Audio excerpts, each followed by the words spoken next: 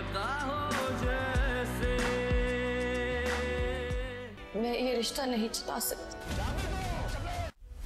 आप लोगों के कहने पे मैंने ये शादी कर ली लेकिन मैं मैंने कहा था ना महर मेरी अमानत है आपके पास। मैं महर को ले जाने आया इसको बरकरार रखने के लिए आप लोग मुझे मजबूर नहीं कर सकते। बस कर तो अपना ये पागलपन। मेरी शादी हो चुकी है। असलम व्यूवर्स नेक्स्ट एपिसोड में आप देखने वाले हैं कि शबरेज को जैसे ही अंदाज़ा होगा कि मेरे घर वाले मुझसे झूठ बोल रहे हैं तो फ़ौरन गाड़ी लेकर मेहर के घर पहुँच जाएगा।